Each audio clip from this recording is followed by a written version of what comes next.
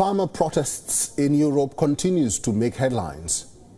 The agrarian community has stepped out on the streets yet again in Belgium, protesting against cheap imports from Ukraine, global trade deals and new green requirements under the European Union's agriculture policy. Belgian farmers got into a scuffle with police. They sprayed manure towards Belgian forces ahead of a meeting of 27 EU agriculture ministers who were planning to discuss the agrarian crisis. Police were seen using water cannons and tear gas to disperse the protesters.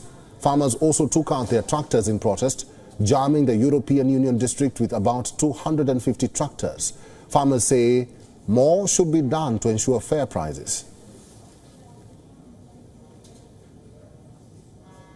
Things used to be okay, but over the last two or three years, they've gone downhill. We need to recognize there's also this climate problem, which is putting us in a bit of a blind.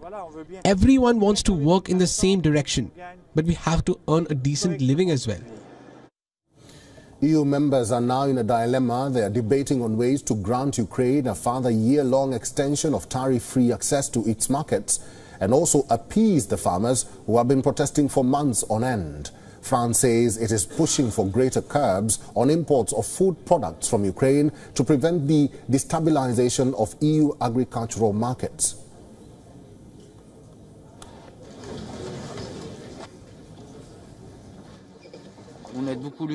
We help Ukraine a lot, as you know, from a military point of view, and it is necessary to help Ukraine on military matters because Ukraine must win this war. Furthermore, we are also helping Ukraine on economic issues, in particular the agricultural question, since Ukrainian farming is powerful.